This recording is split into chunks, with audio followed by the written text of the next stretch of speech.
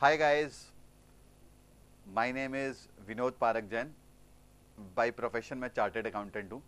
आपका इस demo cum introduction cum awareness session में स्वागत है।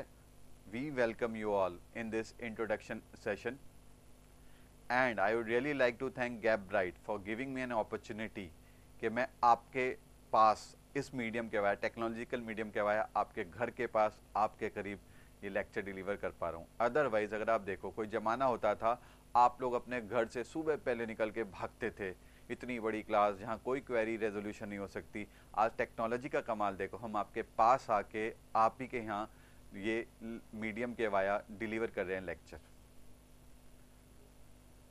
क्लास शुरू करने से पहले एक बेसिक सा क्वेश्चन पूछता हूँ। What is the meaning of word audit अब आप कहोगे सर ये क्या केजी क्लास का क्वेश्चन पूछ लिया। Audit audit is an independent examination of the financial statement blah blah blah blah blah blah जो आपने सीखा। नहीं हम इसके लिए आपको एक कहानी सुनाते हैं। एक रिमोट गाँव में एक किसान एक बार अपने गाय को चर, चरा रहा था और बहुत बड़ी झुंड थी उसके गाय में। काफ़ी सारी भीड़ थी काफ़ी सारी काउस थी। तो एक बंदा उतरता है मर्सिडीज बैन से। अरमानी सूट पहने हुए। और उस किसान को कहता है, हे किसान, अगर मैं तुम्हें ये बता दूँ कि तुम्हारी कितनी काव है टोटल इस पूरे झुंड में तो क्या तुम मुझे एक काव गिफ्ट में दे दोगे? बोले, सर, आप कैसे बता दोगे? बोले, बस, मुझे दो मिनट लगेंगे, मैं बता दूँगा। बोले, सर, ज़रूर दे दूँगा। तो वो वो भाई साहब अपने लैपटॉप को अटैच करता है सेटेलाइट से कोई कनेक्शन होता है और फिर काफ़ी देर कुछ कैलकुलेशंस होती है और फिर एक बड़ी मोटी सी बुक निकलती है और वो उसमें बड़े डिटेल इवेल्युएशन लिखा होता है। लास्ट में लिखा होता है you have got 784 cows in your group किसान आश्चर्यचकित सर आपको कैसे पता चला? बोले, ऐसे ही है, हमारी क्वालिटी है ये पता कर देते हैं। तो कहता है सर अगर मैं आपको आपका प्रोफेशन बता दूँ तो क्या मुझे वो काव जो देनी थी, उससे आप माफ़ कर दोगे? कहता यस बोला सर आप ना ऑडिटर हो। अब आश्चर्य होने की बात किसकी थी? उन भाई साहब की थी। कहता, तुम्हें कैसे पता चला? बोले, बड़ा सिंपल सा है सर तीन रीजन से पता चला। एक, आपके यहाँ पे कोई ज़रूरत भी नहीं थी और आप ज़बरदस्ती यहाँ आ गए। और यही होता है। जब हम ऑडिट करने जाते हैं कोई कोई हमारी ज़रूरत नहीं, नहीं होती कोई नहीं चाहता कि हम आए फिर भी हम पहुँच जाते हैं। दूसरा आपको मेरे ना बिज़नेस के बारे में कुछ पता ही नहीं है। फिर भी आपने करेक्ट आंसर दे दिया। और यही तो होता है हमें कुछ पता ना हो हम करेक्ट आंसर दे देते हैं साइनिंग कर देते हैं गुग्गी मार देते हैं। तीसरा आपने वैल्यू एडिशन क्या क्या कुछ भी तो नहीं किया। और फिर भी आप एक फ़ीस मांग रहे हो। ये करेक्टरिस्टिक तो सिर्फ़ एक ऑडिटर की हो सकती है। तो this is the real live example of what is audit ये सारे एग्ज़ाम्पल जैसे हम रेगुलर क्लास में काफ़ी सारे ऐसे एग्जाम्पल्स लेंगे। अगर हम आपके सब्जेक्ट की बात करें, जो आपका C A final advanced auditing और ये ध्यान रखना, ये एडवांस्ड ऑडिटिंग है ऑडिटिंग नहीं है वो वर्ड आपके आईपीसीसी में यूज़ होता था ऑडिटिंग एंड एश्योरेंस ये वर्ड क्या है? एडवांस्ड ऑडिटिंग तो आपकी जो अप्रोच है, वो एडवांस्ड बेसिस पे ही होनी चाहिए अगर आपको नंबर लाने हैं तो। तो ज़रा समझें, ज़रा ज़रा सा ही सब्जेक्ट के बारे में क्या एग्ज़ाम के क्वेश्चन का पैटर्न रहता है। तो जो आपका एग्ज़ाम है, उसमें टोटल सेवन क्वेश्चन पूछे जाते हैं, जिसमें एक क्वेश्चन कंपलसरी होता है। अगर आप देखें, आपके टोटल सेवन क्वेश्चन पूछे जाते हैं। There are seven question which are ask in exam और इस सेवन क्वेश्चंस में there is one question which is compulsory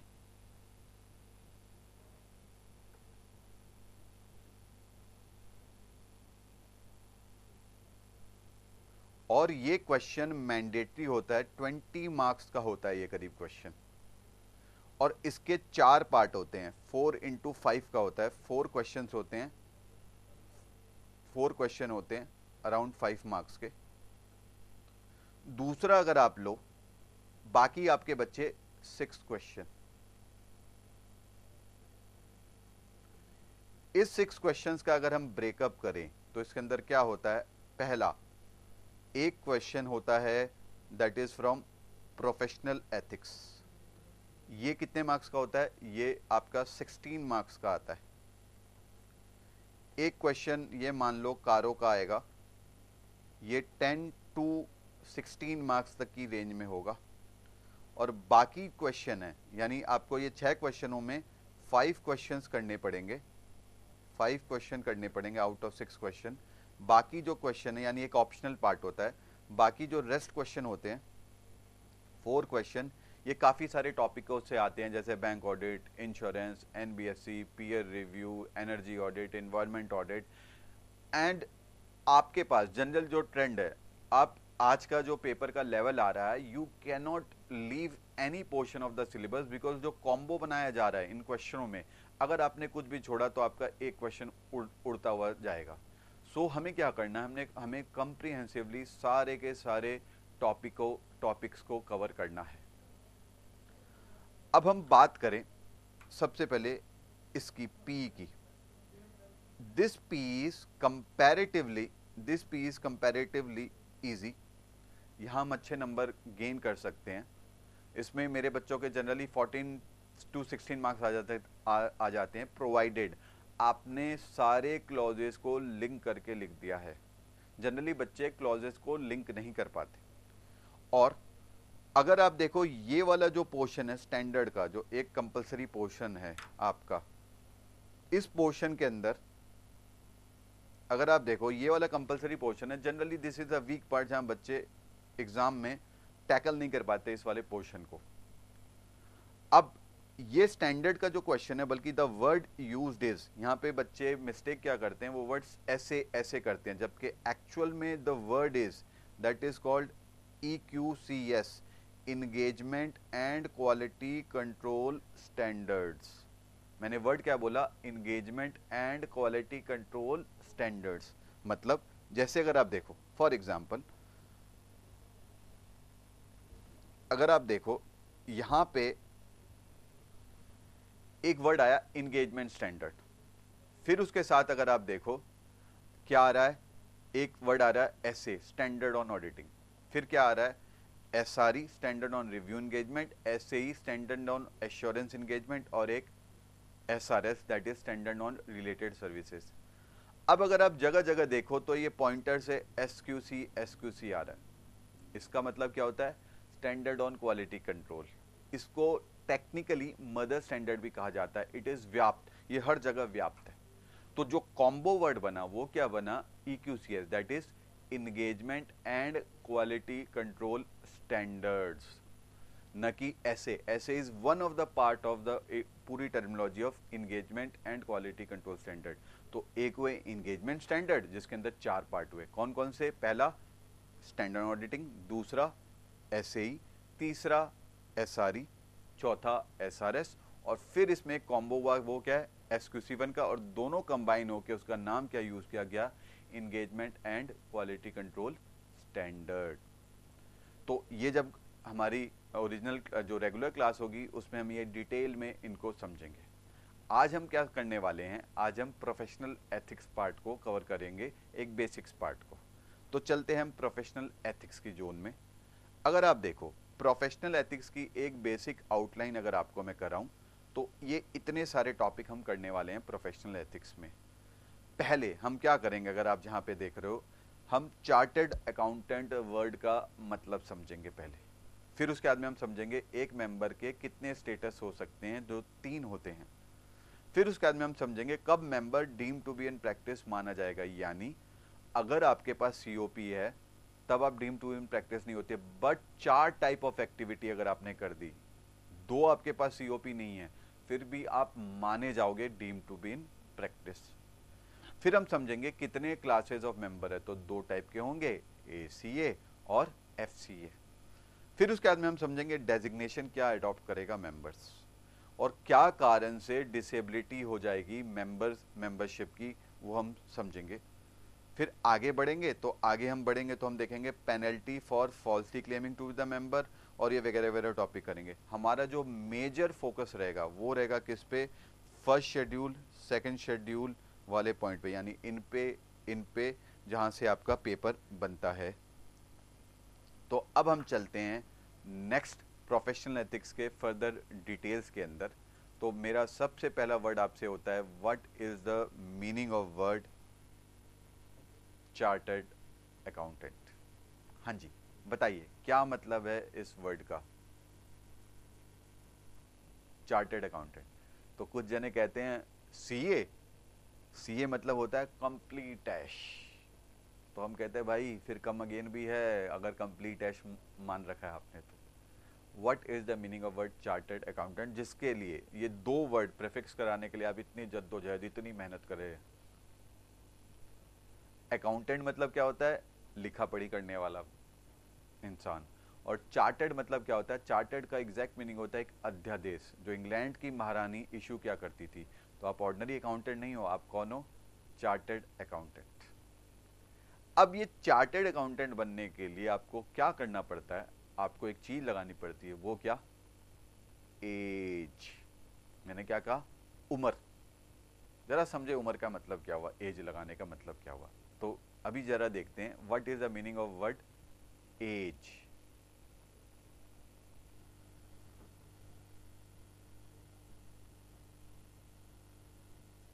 अगर आप देखो एज का मतलब क्या होता है जरा समझते हैं हम।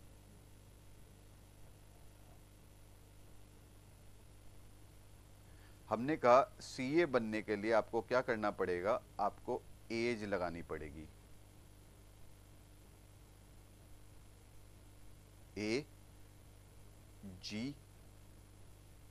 ई एज एज मतलब होता है ए फॉर आर्टिकलशिप आपको करनी पड़ेगी आर्टिकलशिप की ट्रेनिंग करनी पड़ेगी। जी से सबसे best parts of C A course जहाँ आपकी पर्सनैलिटी डेवलपमेंट अच्छी होती है that is called G M C S और ई e मतलब सबसे गंदा पार्ट सी ए का.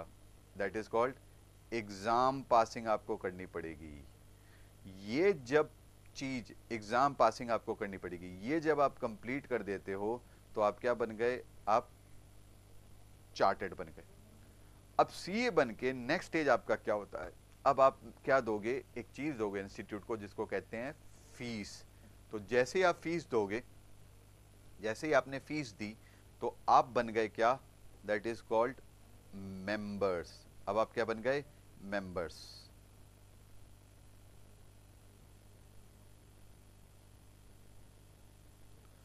अब मेंबर बनने के बाद आपके पास ऑप्शन है।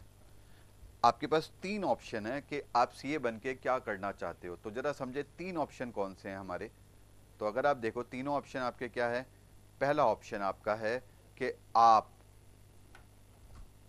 एक सीओपी ले लो that is called certificate of practice कि आप प्रैक्टिस करना चाहते हो। फिर इसके बाद आपके पास ऑप्शन है, आप सुबह पहले उठ के झोली लटका के उस झोली में लैपटॉप डाल के पहुँच जाओ कहाँ पे?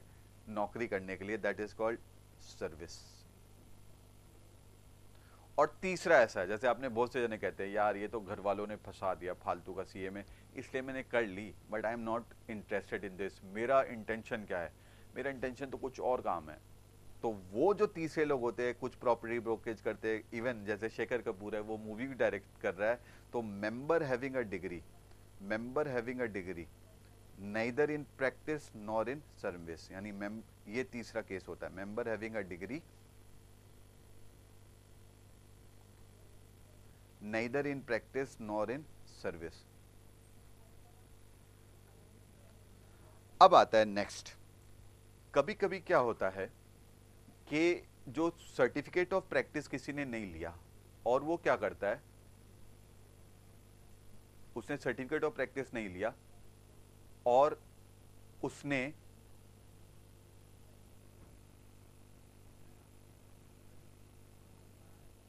उस कभी कभी ऐसे होता है सर्टिफिकेट ऑफ़ प्रैक्टिस उसने नहीं लिया, और उसने चार टाइप ऑफ़ एक्टिविटी कर दी। तो इवन दो उसने सर्टिफिकेट ऑफ़ प्रैक्टिस नहीं लिया, उसको कहते हैं member deem to be in practice section two sub section two के तहत। वो अभी हम जब आगे बढ़ेंगे तो उसके कंसेप्ट को और समझेंगे। चार टाइप ऑफ़ एक्टिविटी फिर आता है, इसके बाद अगर आप देखो सर्टिफिकेट ऑफ़ प्रैक्टिस लेके फिर आपके पास तीन ऑप्शन फर्दर हो जाते हैं। तो जरा देखें वो फर्दर तीन ऑप्शन कौन से होते हैं।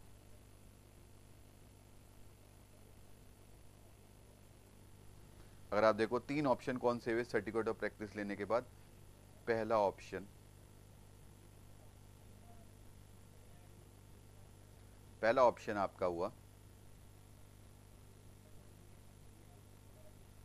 फ़र्स्ट आप क्या करो? एज अ सोल प्रोप्राइटर काम करना शुरू कर दो। सोल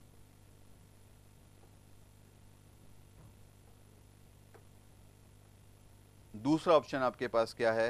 आप सोल प्रोपराइटरशिप फर्म खोल लो।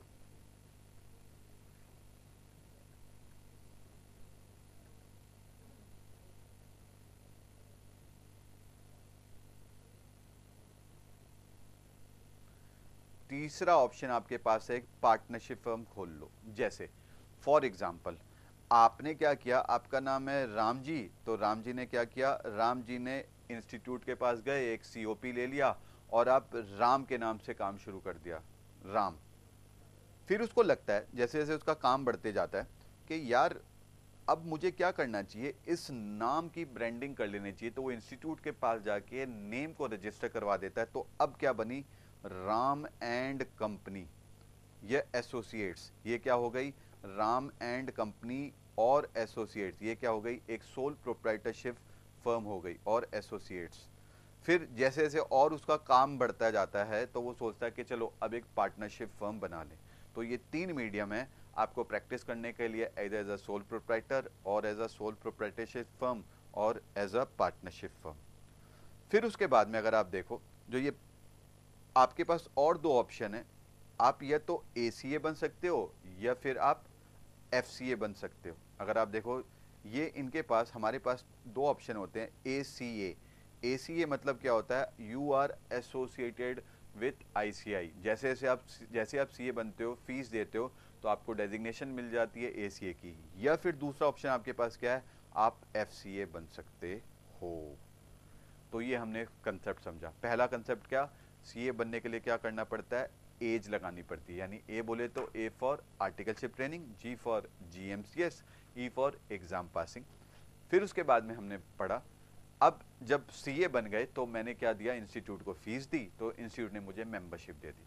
और मेंबरशिप दे के फिर मेरे पास फर्दर तीन ऑप्शन हुए। या तो मैं प्रैक्टिस कर सकता हूँ, या सर्विस कर सकता हूँ, या मेरे पास डिग्री है, ना मैं प्रैक्टिस करूँगा, ना मैं सर्विस करूँगा, मैं बैठ के तो मूवी डायरेक्ट करूँगा। फिर ये दो वैरायटी होती है। एक को कहते हैं एसी अभी वो डिटेल अभी हम पढ़ेंगे थोड़ी देर में, या एफ़ फिर प्रैक्टिस में तीन ऑप्शन है। वो क्या है? एज इधर एज अ सोल प्रोप्राइटर या as a sole proprietorship firm या पार्टनरशिप फर्म अब हम ओरिजिनल मटेरियल को पढ़ते हैं। तो अगर आप देखो, अभी हम जैसे बात कर रहे थे सीए बनने के लिए क्या करना पड़ता है? एज लगानी पड़ती है। तो एज का मतलब जरा समझे क्या? Definition of word chartered accountant तो पहला वर्ड कहता है the word chartered accountants means अगर वर्ड आप देखो वर्ड क्या कह रहा है? मीन्स मीन्स मतलब क्या हुआ? This is a this is a any idea जब भी डेफिनेशन पार्ट होता है मीन्स का मतलब क्या होता है? That is a exhaustive definition तो chartered accountant means a person who is the member of the institute और उसके लिए उसको क्या करना पड़ेगा? उसके लिए उसको एज लगानी पड़ेगी। उसके लिए उसको एज लगानी पड़ेगी। तो पहला वर्ड अगर आप देखो, वो क्या हमने पढ़ा? That was as per section four a person shall be entitled to have his name entered in the register of member if तो इफ़ मतलब क्या हुआ? If he has pass the C A final exam तो मैंने आपको बोला था ना पास सबसे गंदी, यानी ई एग्ज़ाम पासिंग दूसरा वर्ड अगर आप देखो, हमने क्या बात की थी? Completed the articleship training A और फिर तीसरा वर्ड बोला था जीएमसीएस यानी ये तीन क्राइटेरिया को जिसने सेटिस्फाई कर दिया, वो क्या बन गया? सीए चार्टर्ड अकाउंटेंट अब इसके बाद वो क्या करेगा? फ़ीस देगा. तो जब वो फ़ीस देगा तो क्या बन जाएगा? मेंबर तो जरा अगर नेक्स्ट स्लाइड पे चलते हैं मेंबर बन गए आप। अब मेंबर बन गए तो आपके पास तीन ऑप्शन है। क्या? पहला, आप या तो प्रैक्टिस कर सकते हो, जैसे अभी हमने देखा। दूसरा, आप क्या कर सकते हो? सर्विस में जा सकते हो। तीसरा, आप क्या कर सकते हो? तीसरा, आप क्या कर सकते हो? Member having a degree neither in practice nor in service फिर आप इन प्रैक्टिस की अगर बात करो तो इन हिज ओन नेम वो काम कर सकता है। या as a sole proprietorship firm या पार्टनरशिप फर्म अब आता है next stage section two sub section two very important for exam purpose also वो क्या कहता है? Member of the institute shall be deem to be in practice अगर word देखो deem to be in practice word use कर रहा, कब वो माना जाएगा he is deem to be in practice तो कंडीशन क्या कहता है? वेन इंडिविजुअली और इन पार्टनरशिप या तो वो इंडिविजुअली या किसी के साथ, वो किसके साथ हो सकता है? Only with a chartered accountant in practice in consideration of remuneration ये वर्ड बड़ा इंपॉर्टेंस है जब ये वर्ड कहता है इन कंसिडरेशन ऑफ़ रेमरेशन अगर वर्ड देखो क्या कह रहा है? इन कंसिडरेशन ऑफ़ रेमरेशन इसका मतलब क्या हुआ? अगर आप अपने पर्सनल लाइफ में, जैसे अपने फादर की मदर की, या किसी एनजीओ की बिना कंसिडरेशन लिए हुए अगर काम करते हो तो ये वाला सेक्शन आप पे हिट नहीं होगा and you will won't be deem to be in practice but अगर आपने कंसिडरेशन रिसीव किया और काम किया, कौन सा काम करेगा? जरा आप हमें बताएँ आप कौन सा ऐसा काम कर सकते हो आफ्टर बिकमिंग सीए किस टाइप का काम करोगे? क्या आप बैठ के किसी मरीज़ का ऑपरेशन करोगे? या आप कोई इंजीनियरिंग एक्टिविटी करोगे? नहीं आप क्या करोगे? पहला ऑफ़र क्या दोगे? अकाउंटेंसी दूसरा ऑफ़र क्या दोगे? यार ऑडिट तीसरा आप क्या दोगे? अगर अकाउंटेंसी नहीं ऑडिट फिर क्या होगे? आप कहोगे, सर, मैं कुछ असिस्टेंस कर देता हूँ। किस काम में? अगेन अकाउंटिंग एंड ऑडिटिंग और अगर ये सब भी नहीं होगा तो आपने सी ए फाइनल के बहुत रहे और सब्जेक्ट पढ़े हैं। एस एफ़ एम पढ़ा है, आपने कॉस्टिंग पढ़ा है, आपने एच आर के रिगार्डिंग कुछ पढ़ा है, जैसे एस एम के अंदर ये सारी एक्टिविटी करोगे। इसको कहा M C S that is management consultancy services तो मैंने चार चीज़ बोली। पहला क्या बोला? अकाउंटेंसी दूसरा ऑडिट तीसरा बोलोगे, सर, मदद कर दूँ, मदद कर देता हूँ। पर किस एक्टिविटी में? अगेन अकाउंटेंसी एंड ऑडिट में। और चौथा, हमने क्या बात की? चौथा है सच अदर सर्विसेज़ जिसको मैनेजमेंट कंसल्टेंसी सर्विसेज़ कहा गया। तो जरा फिर से पढ़ते हैं हम इसको।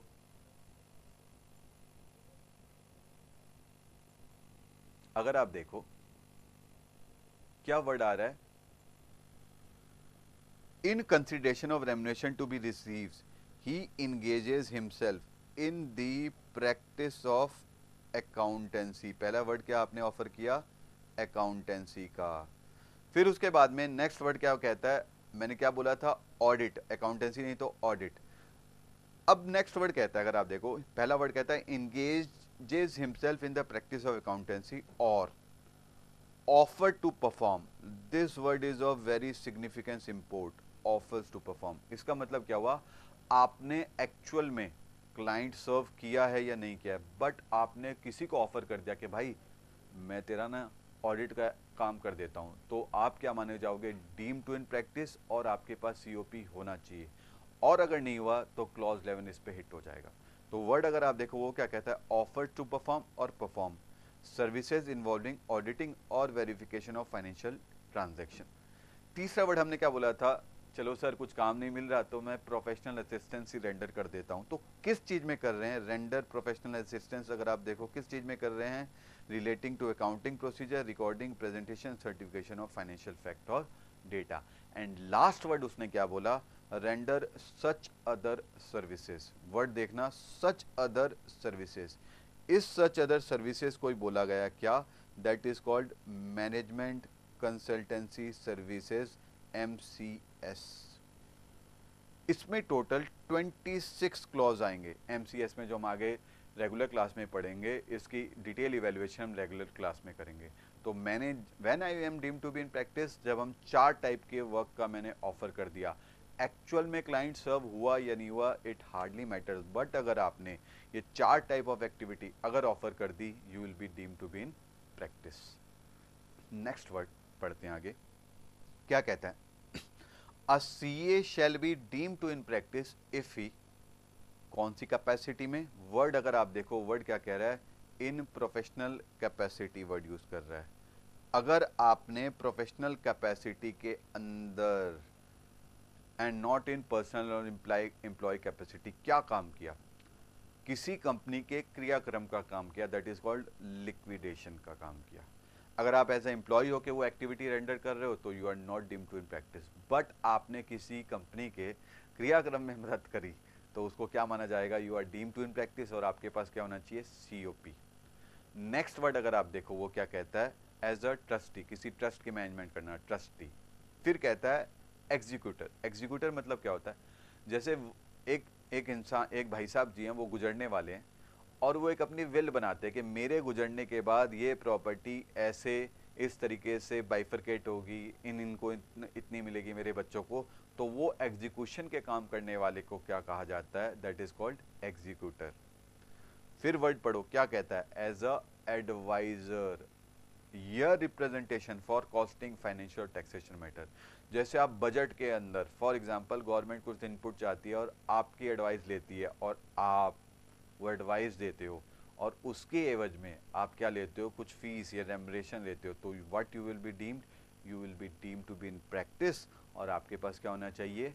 सर्टिफिकेट ऑफ़ प्रैक्टिस फिर नेक्स्ट वर्ड कहता है you take up an appointment made by government और लीगल अथॉरिटी और एक्ट एज अ सेक्रेटरी अगर आप देखो वर्ड आ रहा है सेक्रेटरी ये जो सेक्रेटरी वर्ड है, ये बेसिकली इसका मतलब क्या हुआ?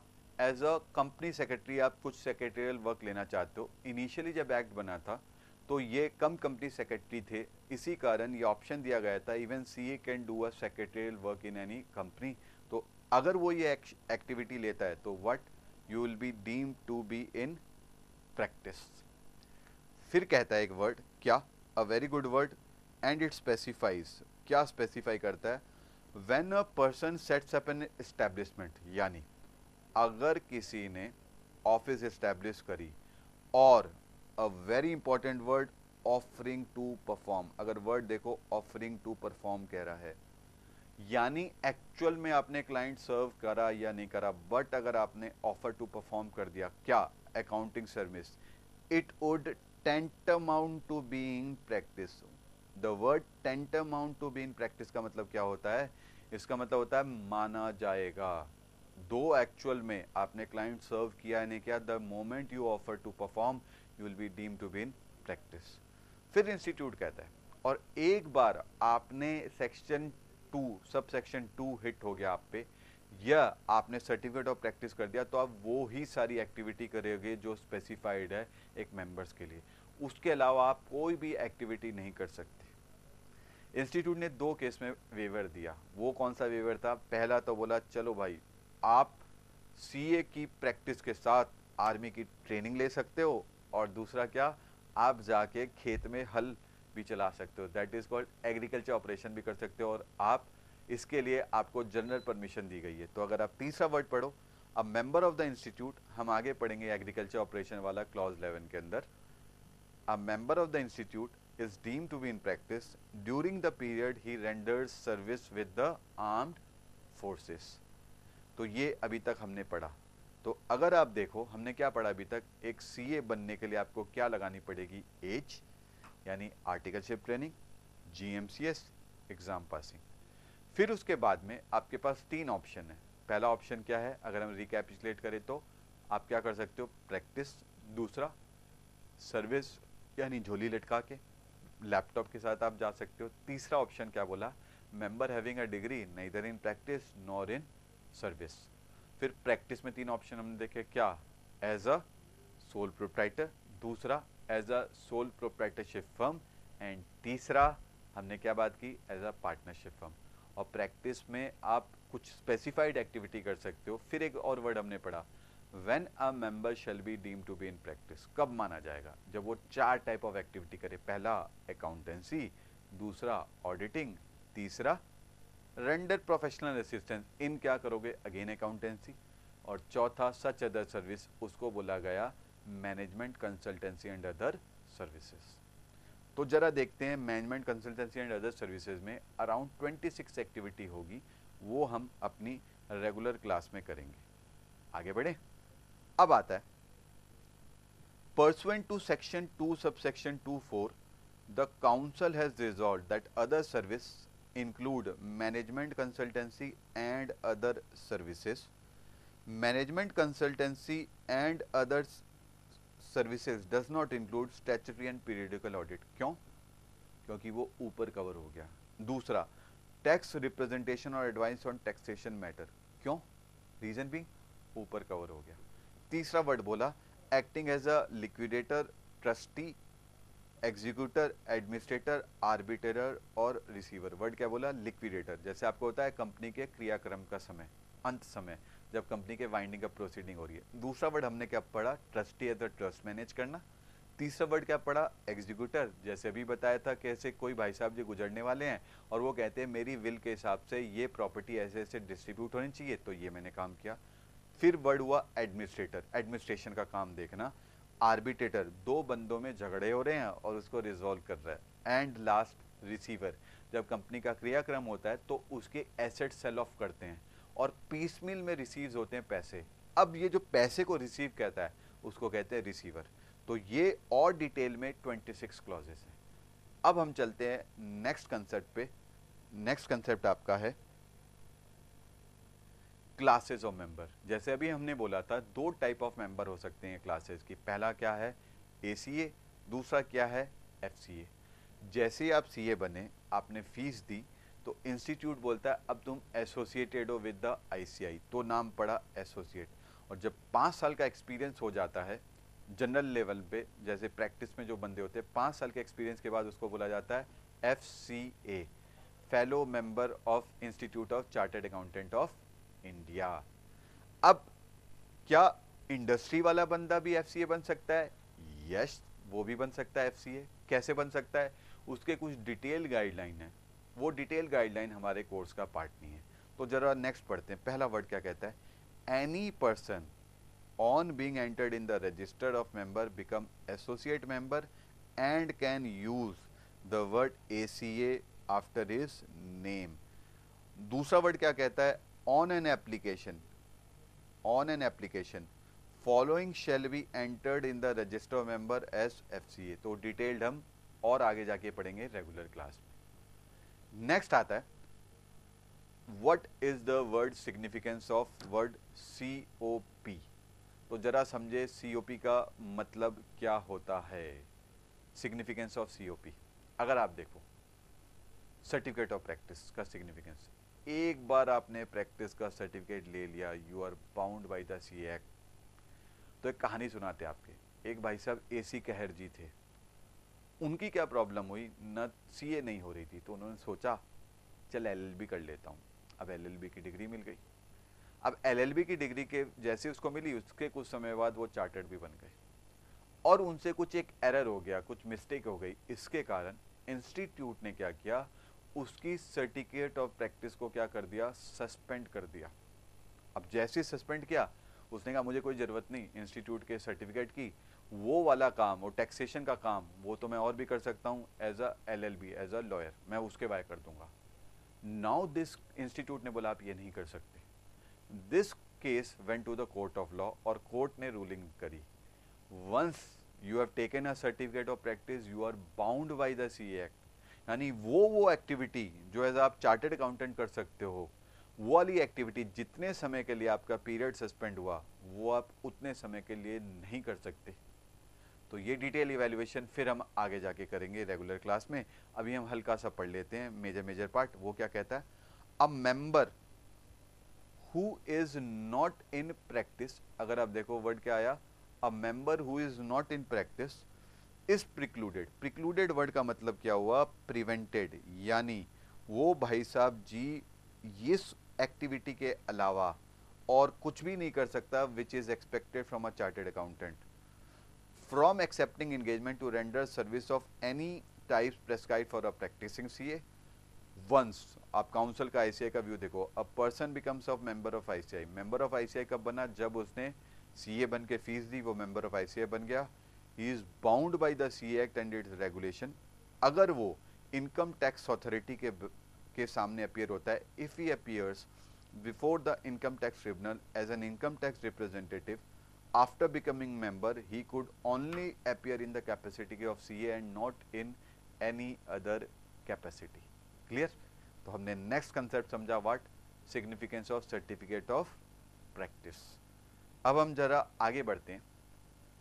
Designation that can be adopted by the member तो जरा समझे क्या डेजिग्नेशन मेंबर अडॉप्ट कर सकता है? जरा समझते हैं क्या डेजिग्नेशन मेंबर अडॉप्ट कर सकता है?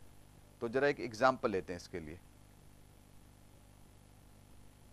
अगर आप देखो what is the designation which I can use क्या मैं अपने नाम के आगे, जैसे मैं कहता हूँ, विनोद पारक क्या मैं अपने नाम के आगे सी ए वर्ड लगा सकता हूँ? तो जैसे सब जानते हैं यस नेक्स्ट वर्ड अगर आप देखो, क्या मैं अपने नाम के नीचे ऐसे लिख सकता हूँ?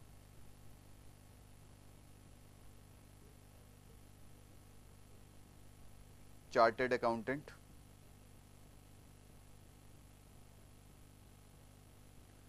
यस नेक्स्ट आता है, क्या मैं अपने नाम के आगे ऐसे लिख सकता हूँ, विनोद पारक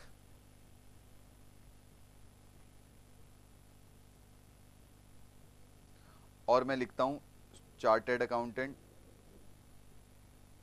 फिर मैं लिखता हूँ, कंपनी सेक्रेटरी, फिर मैं लिखता हूँ, कॉस्ट अकाउंटेंट पूरे पूरे वर्ड, क्या मैं ऐसे लिख सकता हूँ? हाँ जी, बताइए। नो। इंस्टीट्यूट क्या कहता है?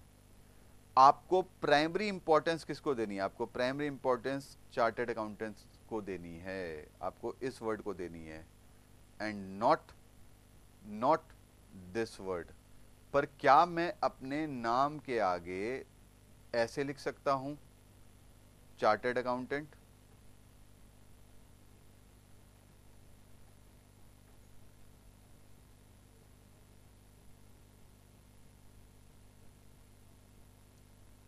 और C S C W A ये सब यस दैट इज़ अलाउड इस वर्ड को जो हमने पढ़ा, इसको कहते हैं डेजिग्नेशन और इस वर्ड को, इसको कहते हैं डिस्क्रिप्शन राइट जरा मटेरियल पढ़े हम, क्या कहता है इंस्टीट्यूट के नॉर्म्स तो इंस्टीट्यूट के नॉर्म्स क्या कहते हैं?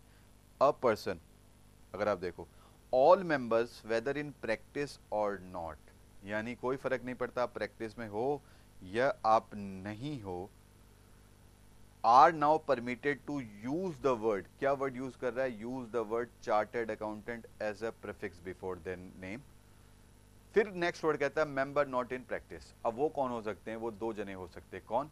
एक तो झोली लटका के और member having a degree neither in practice nor in service तो इंस्टीट्यूट कहता है if they do not use the word designation अगर आप देखो वर्ड डेजिग्नेशन बोला। डेजिग्नेशन मतलब पूरा वर्ड चार्टर्ड अकाउंटेंट अगर आप डेजिग्नेशन वर्ड यूज़ नहीं करते हो दे में यूज़ अगर वो चाहें तो एनी अदर लेकिन वर्ड क्या बोला? डेस्क्रिप्शन डिस्क्रिप्शन का मतलब क्या होता है? C S I C W A जैसे ये सी डब्ल्यू ए ये आप लिख सकते हो. फिर वर्ड कहता है मेंबर इन प्रैक्टिस ऊपर वर्ड देखोगे तो मेंबर नॉट इन प्रैक्टिस और फिर वर्ड देखोगे तो मेंबर इन प्रैक्टिस क्या कहता है ये? A member in practice cannot use any designation starting line देखो स्टिंजेंट नॉर्म्स बताया क्या? आप कोई भी डेजिग्नेशन यूज़ नहीं कर सकते can not use any designation other than क्या? चार्टेड अकाउंटेंट यानी इसके अलावा आप कुछ भी यूज़ नहीं कर सकते nor can he use any other description तो डिस्क्रिप्शन भी यूज़ नहीं कर सकते इन एडिशन यानी चार्टेड अकाउंटेंट डेजिग्नेशन के साथ साथ आपने एक डिस्क्रिप्शन एड कर कर दी कुछ भी। एडिशन दैट टू और इन सब्सटीट्यूशन देर ऑफ़ मतलब क्या? उस वर्ड को हटा दिया चार्टेड अकाउंटेंट को सब्सटीट्यूट कर दिया कोई और डिस्क्रिप्शन तो आप ये नहीं कर सकते। तो पहला वर्ड अगर आप देखो that was a stringent norms जो इंस्टीट्यूट ने बोला। फिर कुछ एक वेवर दिया। क्या वेवर दिया? However, he can use any other letter or description word देखो, letter or description can use, he can use this letter or description क्या? Indicating membership of approved body. तो जब ये आएँगे हम डिटेल बॉडीज के एस्पेक्ट में जब रेगुलर क्लास में पढ़ेंगे, कौन कौन सी बॉडीज अप्रूव्ड है? So long as so long as such use does not imply इसका ये इम्पैक्ट ना पड़े कि मैंने उस डेजिग्नेशन को अडॉप्ट कर दिया है and does not amount to advertisement or publicity तो ये डिटेल हम आगे करेंगे। तो हमने क्या पढ़ा अभी? हमने पढ़ा आप सी ए वर्ड अपने नाम के आगे लगा सकते हो। Anyone who wants next anyone मतलब अगेन मेंबर दूसरा जो प्रैक्टिस में नहीं है, वो जहाँ डेजिग्नेशन यूज़ नहीं करे, और कोई डिस्क्रिप्शन तो यूज़ कर सकता है। बट प्रैक्टिस वाला, अगर जहाँ डेजिग्नेशन यूज़ कर रहा है, कोई भी डिस्क्रिप्शन यूज़ नहीं कर सकता बट कुछ स्पेसिफाइड बॉडी है बॉडीज़ है, उनके डिस्क्रिप्शन वो यूज़ कर सकता है। तो अभी तक हमने क्या पढ़ा? पहले सी ए बनने के लिए क्या लगानी पड़ती है? एच यानी आर्टिकलशिप जीएमसीएस एग्ज़ाम पासिंग फिर उसके बाद में मेरे पास ऑप्शन है, तीन टाइप के ऑप्शन या तो मैं प्रैक्टिस करूँ, या सर्विस में रहूँ, या मैं क्या करूँ member having a degree neither in practice nor in service फिर प्रैक्टिस में तीन ऑप्शन हमने पढ़े. क्या? पहला क्या? पहला हमने पढ़ा कि वो बंदा एज अ सोल प्रोप्राइटर काम कर सकता है. दूसरा as a sole proprietorship firm and तीसरा क्या? एज अ पार्टनरशिप फर्म फिर हमने देखा member of the institute shall be deem to in practice चाहे आपके पास आपने सीओपी नहीं ले रखा बट आपने चार एक्टिविटी कर दी। अगर आपने वो चार एक्टिविटी कर दी, पहली क्या हमने पढ़ी थी? अकाउंटेंसी का काम ऑफ़र कर दिया। दूसरा ऑडिट तीसरा, आपने रेंडर किया प्रोफेशनल असिस्टेंट्स किस रेस्पेक्ट में? अगेन अकाउंटेंसी इन सब में। और चौथा सच अदर सर्विस जिसको एमसीएस बोला। फिर हमने पढ़े दो चीज़ और designation to be adopted by the member वो दो दो डेजिग्नेशन क्या होंगे? ए एंड एफ़ सी अब हम चलते हैं next part disability for the purpose of membership मतलब अगर आपने ये ये चीज़ आप पे हिट हो जाती है तो you are disable for the purpose of membership कौन सी दस, ये चीज़ें? पहला इंस्टीट्यूट क्या कहता है हमारा आई कि आप थोड़े थोड़े मैच्योर्ड होने चाहिए। तो ये माना जाता है जनरली कि 21 साल में बच्चा मैच्योर हो जाता है, होश में आ जाता है। होश में आ जाता है या नहीं आ जाता ये तो नहीं पता बट वर्ड अगर आप देखो क्या कह रहा है, अगर आप 21 साल से कम की एज वाले हो, अगर आप 21 साल से कम आपकी एज है, अगर आपकी एज है you are not disable for the purpose of membership यानी अगर आपकी age 21 one years of age है तो आपका नाम एंटर करा जा सकता है रजिस्टर में। At the time of application for the entry of his name in the register आप कितने साल के होने चाहिए? 21 साल के। फिर नेक्स्ट वर्ड कहता है, आप साउंड माइंड के होने चाहिए। वैसे तो सब अपने आप को साउंड माइंड के माने जाते हैं। लेकिन अगर किसी कोर्ट ने बता दिया कि आप अनसाउंड माइंड के हो you are disable for the purpose of membership तीसरा वर्ड कहता है? दो वर्ड है अनडिस्चार्ज इंसॉल्वेंट और डिस्चार्ज इंसॉल्वेंट जरा इनको समझते हैं, क्या मतलब हुआ दोनों वर्ड का? अनडिस्चार्ज इंसॉल्वेंट और डिस्चार्ज इंसॉल्वेंट का। फॉर एग्ज़ाम्पल अगर आप देखो।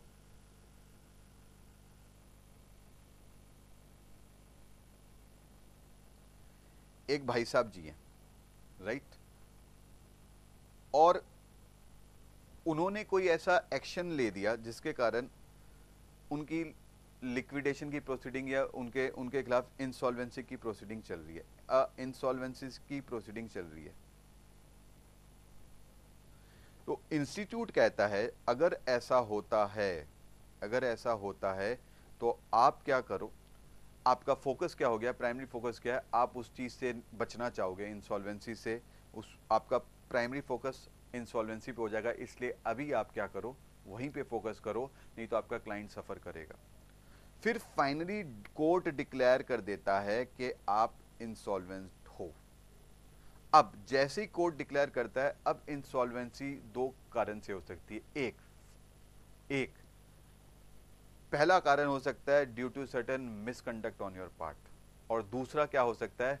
आपकी किस्मत ही खराब थी कि कुछ ऐसी गलत एक्टिविटी के कारण गलत इन्वेस्टमेंट डिसीज़न जैसे आपने कुछ गलत ऐसा एक्शन ले लिया जिसके कारण हो गए। तो एक अगर आप मिसकंडक्ट के कारण इंसॉल्वेंट हुए, जैसे किसी शेयर होल्डर ने आपके खिलाफ कोर्ट में केस कर दिया एंड कोर्ट ने बोला yes you have to pay the damages to the shareholder उस केस में तो आप cannot be you cannot be a member of ICI but अगर मिसफॉर्चून के कारण आप इंसॉल्वेंट हुए you can be a member of ICI अब आपको क्या करना पड़ेगा? कोर्ट से एक सर्टिफिकेट लेना पड़ेगा कि भाई मेरी सर्टिफिकेट लेना पड़ेगा। ट्रिपल सी की कंप्लाइंस है। कोर्ट से सर्टिफिकेट लेना पड़ेगा कि जो ये मिसफॉर्चून हुआ है this is because of misfortune on is part right हमने नेक्स्ट पढ़ा।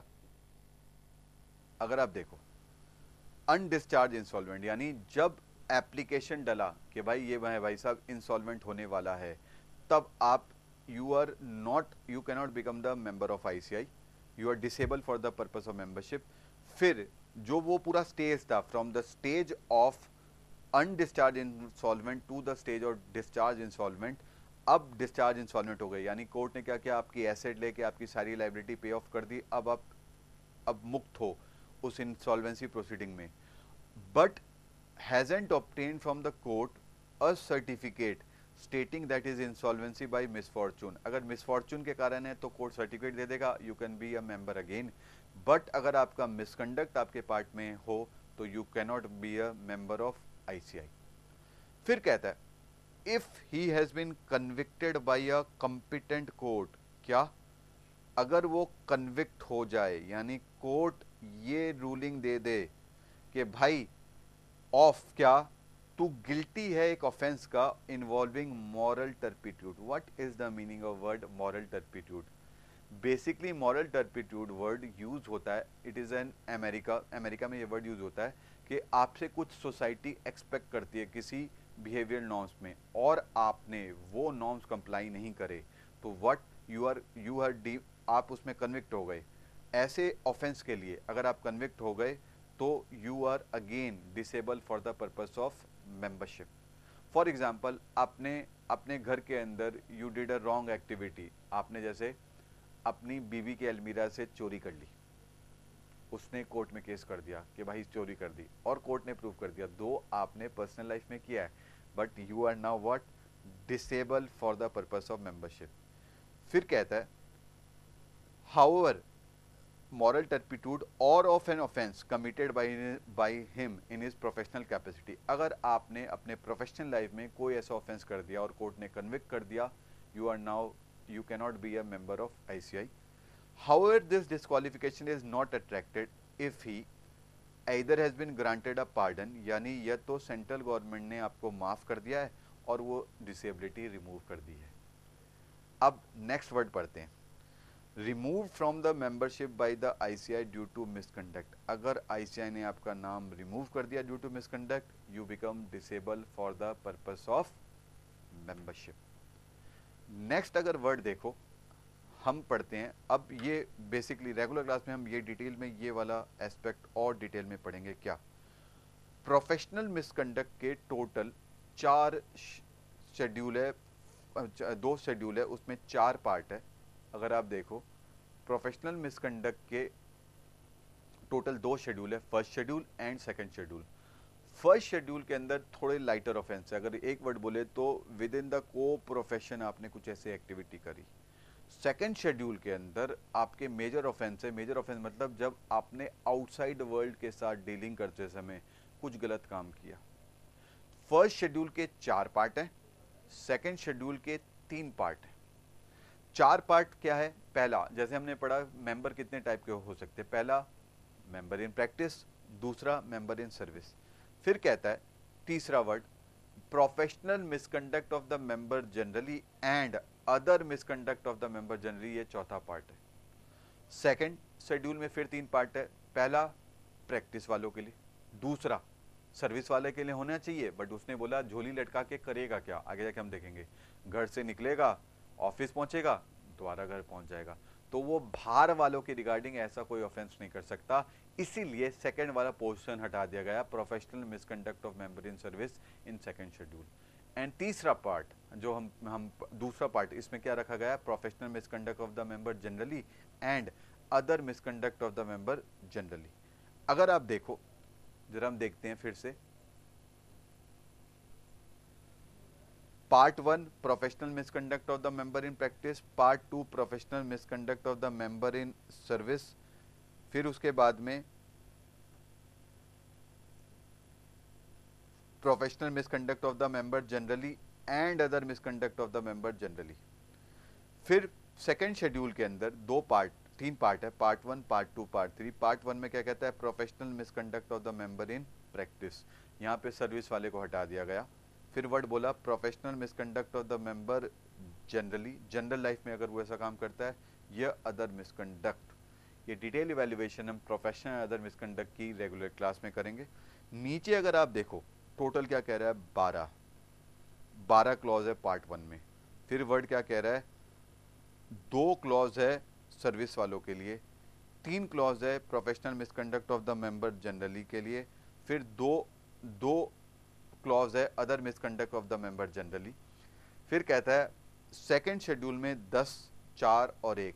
टोटल अगर आप देखो तो कितने क्लॉज बने आपके? चौंतीस क्लॉज बन के आते हैं आपके टोटल एग्ज़ाम में जो क्वेश्चन है आपका, अगर एग्ज़ाम में जो क्वेश्चन है आपका, वो जनरली यहीं से आता है। There are in toto 34 clauses जब भी आपको क्वेश्चन आएगा you will have to hit the right clause इसके लिए हमें एक एक क्लॉज की thread bare each by each each by each clause का इवेल्युएशन करेंगे। और आपको वो सारे के सारे करेक्ट क्लॉज हिट करने पड़ेंगे। अगर आपको 16 में से 16 एटलीस्ट 14 नंबर चाहिए, वो हम डिटेल रेगुलर क्लास में कवर करेंगे। तो ज़रा रिकैप्चुलेट करते हैं। अभी तक हमने पढ़ा क्या? तो ज़रा देखें हमने क्या पढ़ा। अगर आप देखो, हमने पढ़ा क्या अभी तक?